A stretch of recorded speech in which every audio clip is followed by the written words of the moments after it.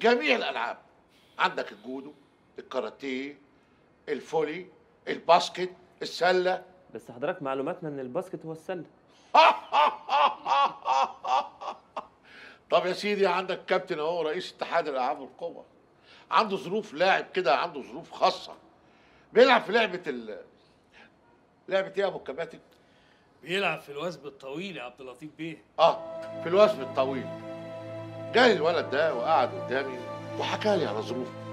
اتضح إن والده عايز يعمل عملية في ألمانيا. قلت له تتكلف كام يا ولد؟ قال لي كذا.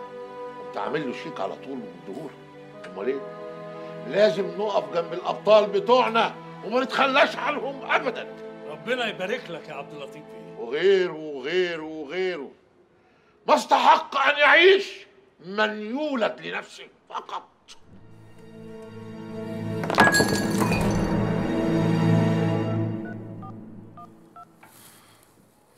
ومعانا اتصال تليفوني. ألو أنا أحمد حجازي من الوراق. مساء الخير يا أستاذ أحمد اتفضل. أنا عايز أقول كلمة حق بس يا ريت تديني فرصتي. الراجل ده عبد اللطيف بيه أنا لا اعرفه ولا عمري شفته ولا عايز منه حاجة ولا ليا مصلحة. الراجل ده عمل للرياضة وللرياضيين اللي محدش عمله.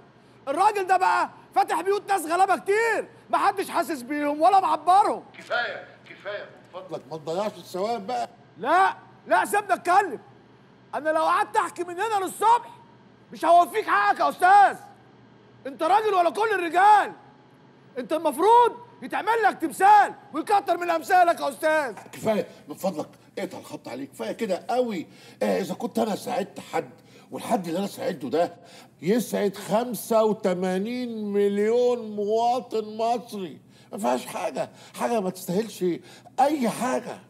شكرا يا أستاذ أحمد وناخد بقى اتصال هاتفي تاني. أنا حسام المصري بطل بطولة العالم العسكرية للوثب الطويل. وأنا متصل مخصوص عشان أقول لكم كفاية كذب بقى. كفاية ضحك على عقول الناس. الراجل اللي قاعد قدامك ده وعمالين تطبلوا له ومطلعينه السما راجل حقير وكذاب. أحب أفكرك بنفسي. أنا لاعب الوثب الطويل اللي جيت لك المكتب النهاردة اللي رئيس الاتحاد كان باعتني ليك. وعملت لي كأني شحات جاي أخد منك حسنة وما اديتنيش أي حاجة. وأنا أصلا ما كنتش طالب حاجة لنفسي. أنا كنت رايح له عشان أطلب منه يساهم في عمليه لازم تتعمل لأبويا. كابتن حمدي المصري بطل مصر السابق. العملية اللي لازم يعملها عشان يقدر يرجع يمشي على رجليه تاني.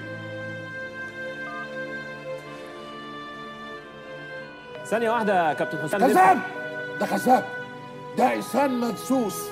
حد دافع له فلوس عشان يشوهني قدام الناس دي كلها. كذاب كذاب صفيق صفيق صفيق صفيق. ساتر إزاي الواد ده دخل برنامج ليه سبتوه يتكلم؟ يا باشا أنا بعد ما كلمتك سبت الكنترول ونزلت عشان أشوف الكلام عجبك ولا لا؟ بلا عجبني بلا نيلة فين المعد فين المخرج؟ يا عبد اللطيف إيه؟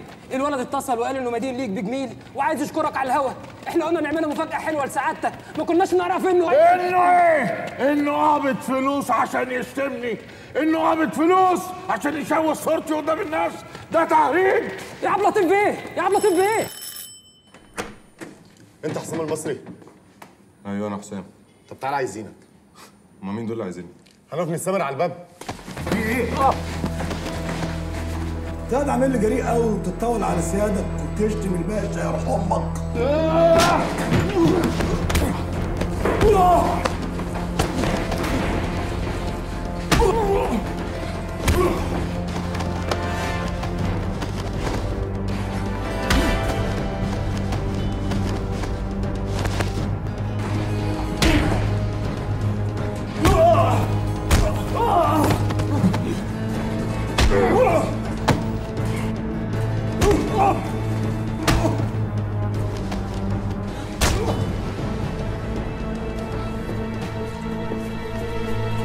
دي الصباحة بس.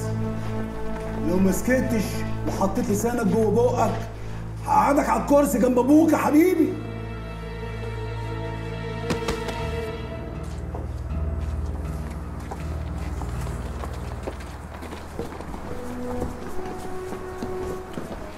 من فضلك لو سمحت هو الكابتن حسام المصري ساكن في أنهي دور؟ هتلاقيه على السلم مستنيك.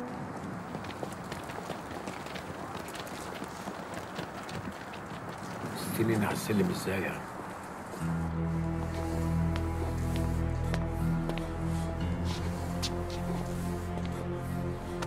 يا اياد مالك الله يخرب بيتك. انت اتجننت ولا إيه؟ ازيك يا باشا؟ الحمد لله رب الحمد لله. ازيك يا حسام؟ ازيك يا باشا؟ اتفضل يا باشا. اتفضل. ألف أهلا وسهلا. بعد الله يا باشا أنا مش مصدق نفسي. أنا حاسس ان أنا بحلم والله يا باشا. اتفضل لما أنت كنت نايم على السلم كده ليه؟ لا ما فيش. ده وأنا واقف بره دخت فوقعت على الأرض. دخت؟ دخت إيه؟ ده أنت بالشلفط في حد كان بيضربك؟ حسام؟ يا حسام أنت رحت فين يا ابني؟ أنا عمال أدور عليك. إيه ده؟ كابتن حمدي. ناجي باشا معقولة؟ خطوة عزيزة. يا أهلا وسهلا. ده إيه المفاجأة الحلوة دي؟ إزيك يا أبو الكباتن؟ والله يا باشا أنا وحسام ابني في سيرتك على طول. بيقول لي الراجل ده أنا عمري ما شفت زيه في حياتي. هو اللي رجع لي ثقتي بنفسي. هو اللي خلاني آخد الميدالية الذهبية. ما هو ابني زي ما هو ابنك بالظبط. ده لينا الشرف يا ناجي باشا. مش هتفطرنا ولا إيه؟ روح اعمل لي شطول بالقوطة وحتة جبنة. عايز أفطر مع الكابتن حمدي. من عينيا يا باشا. إيه ده؟ مالك يا حسام يا ابني؟ إيه اللي عمل فيك كده؟ ده كان بيتخانق. بي- بيتخانق مع مين؟ آه، أصل أنا كنت طالع على السلم فلقيته بيتخانقوا مع بعض. ضرب وشلاليت ودماغات وبنيات قطعوا جابوا على الأرض. قطع مين وجاب مين على الأرض؟ اتضرب زين.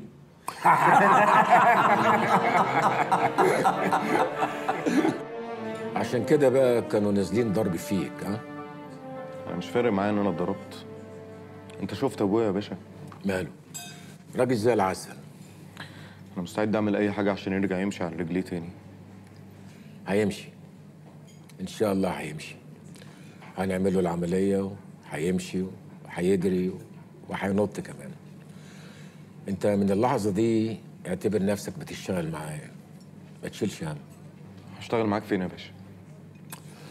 أنت آخر بطولة دخلتها كان رقمك 7 متر 20 إحنا هنكسر الرقم ده. إحنا عايزينه 8 متر. صعب ليه يا حسام؟ وصعب يا باشا إنما مش مستحيل. طب كويس بدل مش مستحيل يعني ممكن تعملها. هو إحنا داخلين أنهي بطولة يا باشا؟ هي بطولة خاصة. أهم من أي بطولة أنت دخلتها قبل كده. بس عايزة تدريب جامد وشغل كتير. وأنا تحت أمر سيادتك. طيب. أنت بكرة هتيجي معايا شرم الشيخ. هعدي عليك الساعة 6 الصبح تبقى جاهز بشنطتك. هو إحنا هنتدرب في شرم الشيخ؟ مش عايزك تسأل كتير. ركز في النطة اللي أنت هتنطها. مفهوم؟ مفهوم يا باشا.